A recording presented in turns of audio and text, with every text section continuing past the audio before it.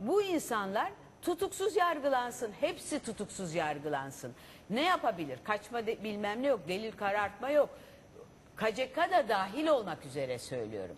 Çünkü oralarda da büyük mağduriyetler oluyor. O oradaki insanların da çocukları var, anaları var, babaları var ve bu kalıcı sıkıntılar ve üzüntüler yaratıyor. O bakımdan burada Merdan Bey'le uzlaşabiliriz. En azından uzlaştığımız tutuksuz noktada. yargılanmaları konusunda bir benim adım çok atalım. itirazım Siz ama olamaz konuşmaya zaten. öyle bir başladınız ki Nazlı Hanım.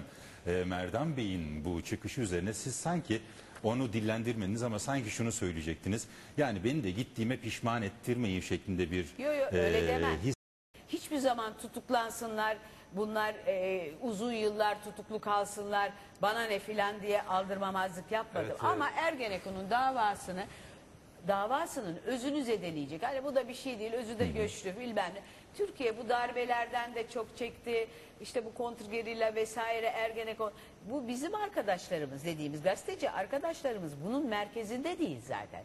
Olsa olsa bunun bir manada bir şekilde yani bilmeden belki de bir temas halinde de olabilirler. Bunu ben bi- bilmiyorum, bir hüküm vermek istemiyorum ama hiç kimse de yok kardeşim. Dava toptan bir e, fasafiso diyemeyeceğim öne özür dilerim. yani bunlar üzerinden Ergenekon davası da sulandırılmamalı E, diyorsunuz. devam etsin yani Bey. dava Ben, ben Nazlı. Hanım'a bu noktada hiç katılmıyorum. Elbette şu, Tabii. şu meselede bir tartışma yok. Eğer bir yargılama varsa sanıkların tümü tutuksuz yargılanabilir. Çünkü hiç kimsenin yani bütün deliller toplanmış, iddianame hazırlanmış, e, kaçma ihtimali yok. Adli denetim altında bile serbest bırakılabilirler. Yani yurt dışına çıkış yasakları vesaire belli sınırlamalar konulabilir. Ki bunlar talep edildi. Buna rağmen yani e, tutukluluk süresi iki yılı geçmiş olmasına rağmen ısrarlı bir biçimde insanlar içeride tutuklu olarak yargılanmaya devam ediliyor. Ciddi mağduriyetler var. Burada hiçbir tereddüt yok. Tümü, bütün sanıklar tutuksuz yargılanabilirler ve gerçeğin ortaya çıkması çok daha kolaylaşabilir ve kamu vicdanı en azından bu noktada kamu vicdanı rahatlatılabilir. Burada çok ciddi bir rahatsızlık var Türkiye'de. Bir sıkıntı var, bu sıkıntı ortadan kaldırılabilir. Burası doğru. Gelelim ikinci etaba. Bu dava nasıl bir dava? Darbe günlükleri vesaire çıkartılan silahlar. Şimdi burada çok ciddi iddialar var. Bu iddialar maalesef e, medyada geniş bir şekilde tartışma imkanı yok. Çünkü çok sınırlanmış, çok kuşatılmış bir ortam içinde hareket ediyor insanlar. Poyrazköy silahları deniyor. Orada bulunan el bombası Ankara Zir Vadisi'nde çıkabiliyor. Aynı el bombası. Ya da başka bir yerdeki kazılar çıkabiliyor. Aynı ekip koyuyor bunu. Mahkemede video gösterisiyle bunlar kanıtlandığı halde mahkeme heyeti teknik olarak bunun incelenmesi için görüntülerin ancak TÜBİTAK'a gönderilmesine karar verebiliyor. Yani ortada başka bir iddia var. Sahte Ama kanıt- mahkemede video sahte kanıt- video görüntüsüyle kanıtlandığı halde dediğinize göre demek ki mahkeme e, onu bir kanıt olarak görmemiş. Mahkeme görmüyor. Şimdi bakın ortada adil bir yargılanma olduğu kanısında değilim. Türkiye'de Ergenekon davalarında adil bir yargılanma yapılmıyor. Özel bir mahkeme kurulmuştur. Bakın iki tane 13. Ağır Ceza Mahkemesi vardır. Beşiktaş'ta yargılamayı devam ettiren, diğer davalara bakan bir heyet vardır. Silivri'de başka bir heyet vardır. Hukuken bir mahkeme iki yerde olamaz. Bir yerde olur. Dolayısıyla ortada özel olarak bu dava için oluşturulmuş ve başka bir davaya bakmayan bir mahkeme vardır. Yani Ama adil bu, bu- olmayan. Bu, normal adil- değil mi Erdem normal Bey? Yani bu da Hayır, hayır. bu mahkemenin bir de başka Hayır, bir davaya doğal bakma hakim, doğal hakim var hakkı vardır. Bakın Roma hukukundan beri hukukun hukuk doktrininin temel ilkelerinden biri doğal hakim ilkesidir.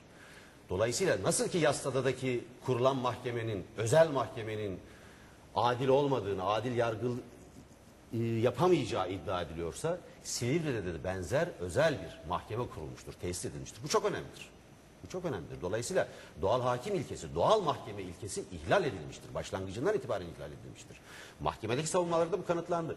Gidin Beşiktaş'ta 13. Ağır Ceza Mahkemesi kalemine kalem memurları derler ki biz Silivri'deki şeye bakmıyoruz. Onun kalemi başka. Silivri'de başka bir mahkeme kalemi vardır. Tümüyle başka bir mahkeme kal- kalemi vardır. Dolayısıyla adli sistem içinde bir yargılama yok. Şimdi Peki. özel savcılıklar ve mahkemeler üzerinden paralel bir adliye kuruldu. Genellikle hükümet yanlısı ve cemaat mensubu olduğu iddia edilen yargıçlardan ve savcılardan oluşan bakın paralel işte bir adliyenin için- kurulduğu iddia Bunun ediliyor. için biz Dolayısıyla maalesef ortada ortada hiçbir şey çözemeyiz. Eğer- Hanımefendi sizinle zaten çözemeyiz biz. Hayır. Şimdi yani neden siz yıllardır darbeleri savunmuş Hayır, ben- birisiniz. Ben, bakın şimdi Tabii, bakın. yıllardır darbeleri Bakın, savunmuş birisiniz. Darbe karşıtlığı yani yapmayın beni, şimdi. Beni yani Evet. şimdi bakın bu gerçekleri yansıtmıyor. Her dönemde Hayır. Gerçekleri yansıtmasın? çarpıtarak 12 Eylül savunmadınız mı? hayır, 12 Eylül'den önce darbe çağrısı yapmadınız mı? Be- Beyefendinin huzurunda bunu defalarca kanıtlarıyla da gösterdim 8. Ben günde. de size kanıtlarıyla Hayır, göstereyim. siz daha sonra 16 o- o Ocak mevzu- 1979 İşte, Tercüman Gazetesi'nde yani işte onu anlattım. İç Bak. Hizmet Kanunu'nun Hayır, 35. hayır, maddesi onu ne zaman an- uygulanacaktır onu diye darbe anlattım. çağrısı Hayır, yapmadınız mı? Hayır, onu Yaptınız anlattım. Hiç, hanımefendi, iç hizmet yaptınız. talimatnamesine her zaman karşıyım. Siz Arşivden, eğer... Bir dakika, arşivden hayır, bakalım. bakın, 16 Ocak Beni bakın 1979 pişman tarihli ediyorsunuz. tercüman. Şimdi bir dakika Bakın susar darbeyi mısınız? savunuyorsunuz. Hakimler ve Savcılar Yüksek Kurulu tarafından özel yetkilendirilmiş eski Hakimler ve Savcılar Yüksek Kurulu tarafından özel yetkilendirilmiş hakim özel yetkilendirilmiş hakim ve savcı söz konusu. Yasada mahkemesi deyince darbe yapan kişilerin özel yetkilendirdiği hakimler söz konusu. Onların olağan mahkemesi biliyorsunuz Yüce Divan yani Danıştay idi. Y- Yüksek Askeri Örtülü- Şura örtülü bir idi. darbe ortamından geçiyoruz biz Yüksek de zaten. Askeri Şura idi. Örtülü bir darbe Halbuki bugünkü hakim ve savcıları yetkilendiren kurum Hakimler ve Savcılar Yüksek Kuruludur. Daha önce bu dava başlamadan önce yetkilendirilmiş hakim ve savcılar söz konusudur. Yani şimdi biz işin dedikodusuna girecek olursak o zaman ben de derim ki hakim Zekeriya Öz'ün e, e, savcı Zekeriya Öz'ün elinden bu darbe günlükleri incelemesi soruşturması alındı. Orada aslında buna bakması gereken başsavcı idi. Ama o da falanca kişiye verdi savcıya. O savcı da danışıklı dövüş bunu Ankara'ya yolladı da diyebilirim demiyorum. Ama Merdan Bey şimdi burada düzgün bir tartışma ortamı cereyan edecekken işte benim darbeci benim darbeci olup bakın ben darbeci bir gazeteci olsam bugüne kadar bir kadın olarak tek başıma ayakta kalamam. Her toplantıya bazı arkadaşlarımız karşı hanımefendi. olan fikirlerle çıkmıyorlar. Ben burada dedim ben kendimi tartışmak üzere değil. Benim bir faydam olabilir mi Tuncay Özkan'a? Mustafa Balbay'a ben bunun için Siz geldim. orada herhangi bir sistemle karşılaştınız Hayır, bir mı Nazlı sistemle Hanım? karşılaşmadım. Mesela Hayır, bir e, sistemle Nazlı Hanım bakın karşılaşmadım. zamanında Ziyaretiniz işte gayet bizim şık. e, Hayır, Ergenekon'la Nazlı Bununla Hanım, ilgili. alakası Bunu- yok. Ben bunu- sizden bunu takdir tartışmıyoruz. beklemiyorum.